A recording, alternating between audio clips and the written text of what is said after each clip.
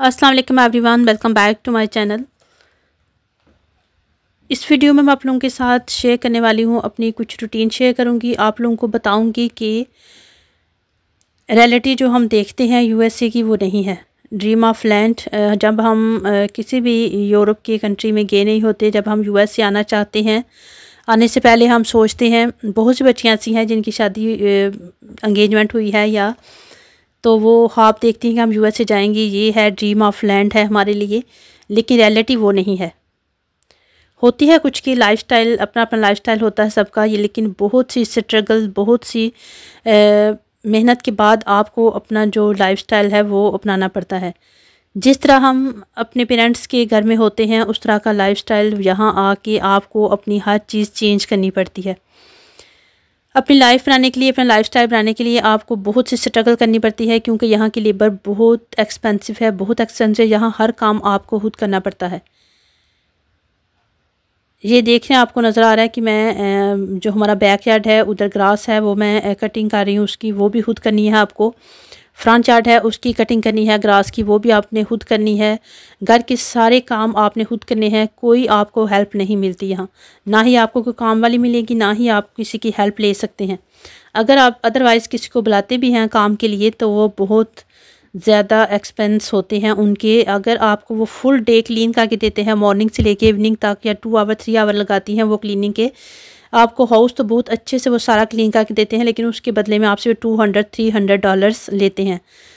तो इससे बेस्ट ये है कि आप खुद से करें। तो मेरी वीडियो का पर्पज़ आज का ये है कि जो न्यू आने वाली बच्चियाँ हैं, उनके लिए है कि मोटिवेशन योर सेल्फ अपने आप को खुद मोटिवेट करें। अगर जब आप अपने आप को खुद मोटिवेट करते हैं, अपने आप से आप ठान लेते हैं कि ये वर्क हमने करना है, हमारा काम है, हमने करना ही करना है और एक उन माओं के लिए भी मैसेज है जो अपनी बच्चों को शादियों के बाद कहते हैं कि अगर यूनिवर्सिटी में बच्चियाँ पढ़ जाती हैं तो वो अपने आप को बहुत या यूरोप में किसी उनकी इंगेजमेंट हो जाती है या शादी होने वाली है तो बच्चियाँ अपने आप को बहुत एक अलग दुनिया की ही बेशक आप लोग माइंड करें माइंड करने वाली बात नहीं है पर्पज़ आपको सिर्फ़ गाइड करना है। अपने आप को एक अलग दुनिया के महलूक समझने लग जाते हैं हम कि हम तो आ, अमेरिका चले जाएँगे हम तो यूके चले जाएँगे कनेडा चले जाएँगे हमें तो कोई काम नहीं करना पड़ेगा। हालाँकि रियलिटी इसकी बिल्कुल बरक्स है। रियलिटी ये नहीं है, पाकिस्तान में अगर आप रहते हैं बेशक आप यूनिवर्सिटी में पढ़े हैं तो आप उधर काम वाली है हेल्पर बहुत से होते हैं उधर, एक घर में भी। लेकिन अगर आप इधर यूरोप में आते हैं तो उधर हर काम आपको खुद करना पड़ता है। जब आप इधर आते हैं तो इधर की रियलिटी आपको पता चलती है। सारे जो काम हैं, वो आपको खुद करने पड़ते हैं। तो इसलिए खुद को मोटिवेट खुद करें, दूसरों पे ना बैठें कि हमें ये काम फलां करके देगा या कोई करके देगा, कोई इधर नहीं करके देता। अगर आपने अपना जो घर है उसको ठीक, अच्छे तरीके से सलीके से चलाना है, अपने हस्बैंड को खुश रखना है, अपने ससुराल वालों को खुश रखना है कि वो आपसे खुश रहें। बहुत सी बच्चियाँ इधर आके तो परेशान भी बहुत होती हैं कहीं जाए तो मिलता है।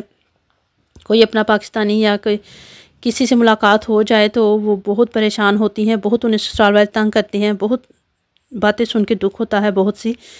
तो ये सा, इस सारी चीज़ों के लिए आप खुद को प्रिपेयर करें खुद को गाइड करें कि हमें ये सब कुछ करना है हमें ये सब कुछ फेस करना पड़ेगा जाके प्रदेश में ससुराल में। तो आप इन चीज़ों के लिए खुद को पहले से प्रिपेयर रखें। ताकि आपको जो आने वाली मुश्किल हैं उनका आप हिम्मत से हौसले से खुद को मोटिवेट करके उनका मुकाबला कर सकें ना कि आप डीमोटिवेट हो जाएँ तो आपका घर ख़राब हो। आप जब खुद को मोटिवेट कर लेते हैं कि हमने ये काम करना ही करना है तो कोई फिर दुनिया की ताकत आपको नहीं रोक सकती। सारे आपसे खुश ससुराल वाले भी खुश हस्बैंड भी खुश आपका घर भी अच्छे तरीके से मेंटेन रहता है। आप हर काम कर सकते हैं, खुद भी खुश हो, खुद को सेटिस्फाइड फील करते हैं। तो ये देखें, ये हमारा कैबिनेट थी, उसको मैंने पेंट करना था, वो भी मैं खुद कर रही हूँ।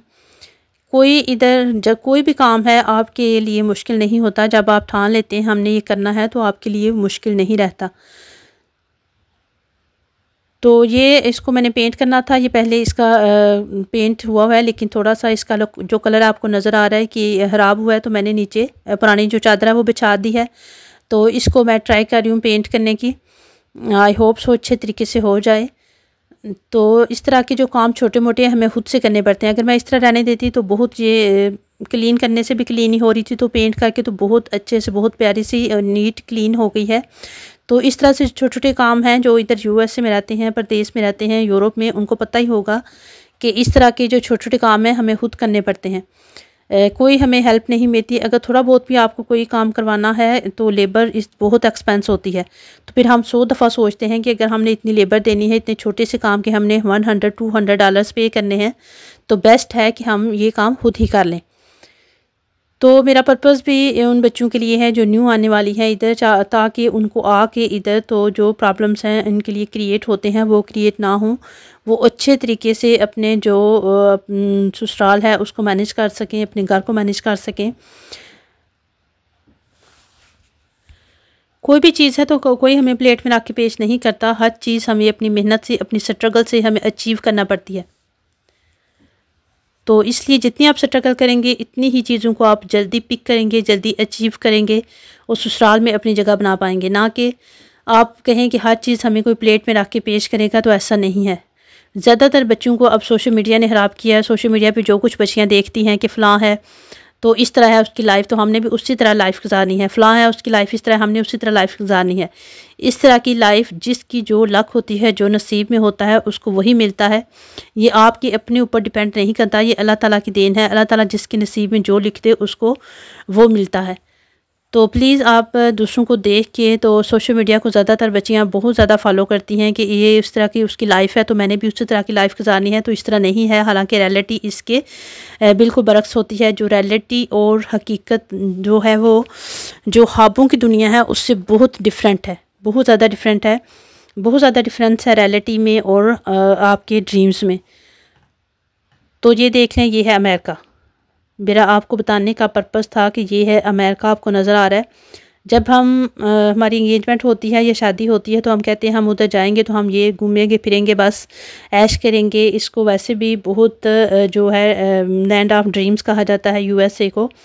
तो हम कहते हैं जब हम उधर जाएँगे तो हमें कोई काम नहीं करना पड़ेगा। हम इस तरह हो जाएगी। हमारी लाइफ बहुत ईजी हालाँकि ऐसा नहीं है। ऐसा बिल्कुल नहीं है जैसा हम सोचते हैं। रियलिटी जो इसकी बिल्कुल बरक्स है, जब आप इधर आ जाते हैं तो आपसे आप पे बहुत सी जिम्मेदारियाँ बहुत उनकी जो रिस्पॉन्सिबिलिटीज़ हैं, उनका बर्डन आप पे आ जाता है। बहुत सी रिस्पॉन्सिबिलिटीज़ आपकी बढ़ जाती हैं, आपके लिए बहुत सी मुश्किल आती हैं। जब आप शुरू में आते हैं तो वो दिन ज़्यादा आपके लिए बहुत मुश्किल होते हैं।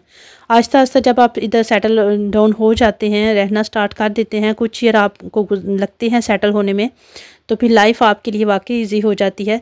लेकिन स्टार्ट में आपके लिए बहुत मुश्किल होती हैं और आपको उन मुश्किल का आ, उन जो प्रॉब्लम्स का बहुत हिम्मत से बहुत हौसले से आपको सामना करना है और आपको अपने आप को मोटिवेट करना है कि हमने डीमोटिवेट नहीं होना बल्कि अपने आप को मोटिवेट करके चलना है तब भी आप कुछ अचीव कर पाते हैं।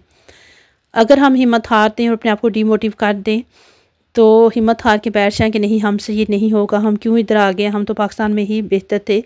या इस तरह के ये काम, हम तो आपके लड़ाई झगड़े बढ़ेंगे, आपके घर अच्छे तरीके से नहीं चलेगा, आपके हस्बैंड आपके ससुराल वाले आपसे खुश नहीं होंगे।